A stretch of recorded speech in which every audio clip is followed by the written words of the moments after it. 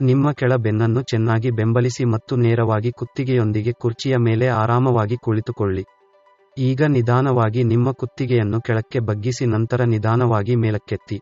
ಈ ಚಲನೆಯು ಯಾವುದೇ ಎಳೆತವಿಲ್ಲದೆ ಬಹಳ ನಿಧಾನವಾಗಿರಬೇಕು. ಮೃದುವಾದ ಮತ್ತು ಮೃದುವಾದ ಚಲನೆಯನ್ನು ಇರಿಸಿ. ಅಂತೆಯೇ ತೋರಿಸಿರುವಂತೆ ನಿಮ್ಮ ಕುತ್ತಿಗೆಯನ್ನು ಪಕ್ಕಕ್ಕೆ ಸರಿಸಬೇಕಾಗುತ್ತದೆ.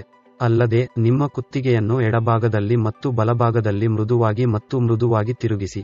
ವಿಡಿಯೋದಲ್ಲಿ ತೋರಿಸಿರುವಂತೆ ನಿಮ್ಮ ಕುತ್ತಿಗೆಯನ್ನು ವೃತ್ತಾಕಾರವಾಗಿ ತಿರುಗಿಸದಂತೆ ಶಿಫಾರಸು ಮಾಡಲಾಗಿದೆ, ಏಕೆಂದರೆ ಇದು ಕೆಲವು ರೋಗಿಗಳಲ್ಲಿ ತಲೆತಿರುಗುವಿಕೆಗೆ ಕಾರಣವಾಗಬಹುದು.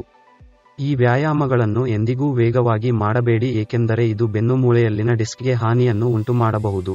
ಈ ವ್ಯಾಯಾಮದ ಇಪ್ಪತ್ತು ಪುನರಾವರ್ತನೆಗಳನ್ನು ನೀವು ಮಾಡಬೇಕು. ಎರಡನೇ ವ್ಯಾಯಾಮಕ್ಕಾಗಿ ನೀವು ಕುರ್ಚಿಯ ಮೇಲೆ ಇದೇ ರೀತಿಯ ಸ್ಥಾನವನ್ನು ತೆಗೆದುಕೊಳ್ಳಬೇಕು ಮತ್ತು ನಿಮ್ಮ ಕೈಯನ್ನು ಬಳಸಿ ಎರಡೂ ಬದಿಗಳಲ್ಲಿ ನಿಧಾನವಾಗಿ ನಿಮ್ಮ ಕುತ್ತಿಗೆಯನ್ನು ಹಿಗ್ಗಿಸಬೇಕು. ಯಾವುದೇ ನೋವನ್ನು ಉಂಟುಮಾಡದೆ ಮೃದುವಾದ ರೀತಿಯಲ್ಲಿ ಬಲವನ್ನು ಅನ್ವಯಿಸಿ. ಅದೇ ರೀತಿ ಇನ್ನೊಂದು ಬದಿಗೆ ಮಾಡಿ. ಎರಡೂ ವ್ಯಾಯಾಮಗಳನ್ನು ಹತ್ತು ಪುನರಾವರ್ತನೆಗಳಿಗೆ ಮಾಡಬೇಕು.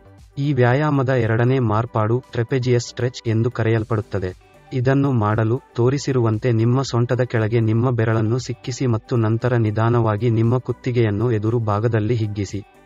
ಇದನ್ನು ಮಾಡುವಾಗ ನೀವು ಟ್ರೆಪೆಜಿಯಸ್ ಎಂಬ ನಿಮ್ಮ ಸ್ನಾಯುಗಳಲ್ಲಿ ಹಿಗ್ಗಿಸುವಿಕೆಯನ್ನು ಅನುಭವಿಸುವಿರಿ, ಇದು ಮೇಲಿನ ಬೆನ್ನಿನ ಸ್ನಾಯು.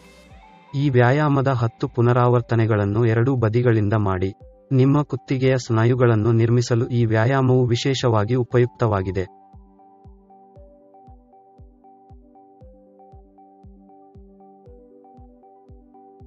ಮುಂದಿನ ವ್ಯಾಯಾಮಕ್ಕಾಗಿ ಮತ್ತೆ ಕುರ್ಚಿಯ ಮೇಲೆ ಆರಾಮವಾಗಿ ಕುಳಿತುಕೊಳ್ಳಿ. ನಿಮ್ಮ ಕೈಯನ್ನು ನಿಮ್ಮ ತಲೆಯ ಮೇಲೆ ಇರಿಸಿ ಮತ್ತು ನಿಮ್ಮ ಕುತ್ತಿಗೆಯಿಂದ ವಿರುದ್ಧ ದಿಕ್ಕಿನಲ್ಲಿ ಒತ್ತಡವನ್ನು ಅನ್ವಯಿಸಿ. ಇಲ್ಲಿ ನೀವು ನೋಡುವಂತೆ ಕೈ ಒಂದು ಬದಿಯಿಂದ ಚಲನೆಯನ್ನು ವಿರೋಧಿಸುತ್ತದೆ ಮತ್ತು ಕತ್ತಿನ ಸ್ನಾಯುಗಳು ಎದುರು ಭಾಗದಿಂದ ಒತ್ತಡವನ್ನು ಹಾಕಲು ಪ್ರಯತ್ನಿಸುತ್ತಿವೆ. ಈ ಸ್ಥಾನವನ್ನು ಐದು ಸೆಕೆಂಡುಗಳ ಕಾಲ ಹಿಡಿದುಕೊಳ್ಳಿ ಮತ್ತು ನಂತರ ವಿಶ್ರಾಂತಿ ಪಡೆಯಿರಿ.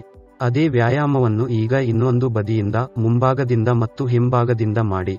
ನಿಮ್ಮ ಕೈಯಿಂದ ಹೆಚ್ಚು ಒತ್ತಡವನ್ನು ಅನ್ವಯಿಸಬೇಡಿ, ಒತ್ತಡವು ಸಾಕಷ್ಟು ಇರಬೇಕು.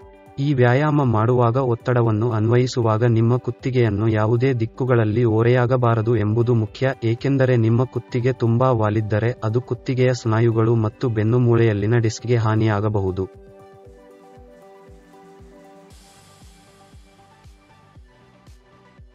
ಮುಂದಿನ ವ್ಯಾಯಾಮಕ್ಕಾಗಿ ಈ ರೀತಿ ನಿಂತುಕೊಳ್ಳಿ ಮತ್ತು ನಿಮ್ಮ ಎರಡು ಕೈಗಳಲ್ಲಿ ತೂಕವನ್ನು ಹಿಡಿದುಕೊಳ್ಳಿ. ನಿಮ್ಮ ಭುಜವನ್ನು ಈ ರೀತಿ ಮೇಲಕ್ಕೆ ಎಳೆಯಿರಿ ಮತ್ತು ಸ್ಥಾನವನ್ನು ಹಿಡಿದುಕೊಳ್ಳಿ. ನೀವು ಒಂದು ಕಿಲೋಗ್ರಾಂ ತೂಕದಿಂದ ಪ್ರಾರಂಭಿಸಬಹುದು ಮತ್ತು ನಿಧಾನವಾಗಿ ನೀವು ಒಂದು ಪಾಯಿಂಟ್ ಐದು ಅಥವಾ ಎರಡು ಕಿಲೋಗ್ರಾಂ ತೂಕದವರೆಗೆ ಚಲಿಸಬಹುದು.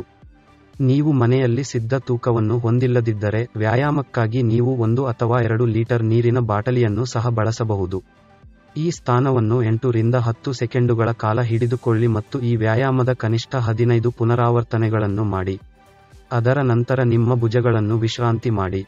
ನೀವು ದೀರ್ಘಕಾಲದ ಕುತ್ತಿಗೆ ನೋವು ಅಥವಾ ಭುಜದ ನೋವನ್ನು ಅನುಭವಿಸುತ್ತಿದ್ದರೆ ಈ ವ್ಯಾಯಾಮವು ವಿಶೇಷವಾಗಿ ಉಪಯುಕ್ತವಾಗಿದೆ.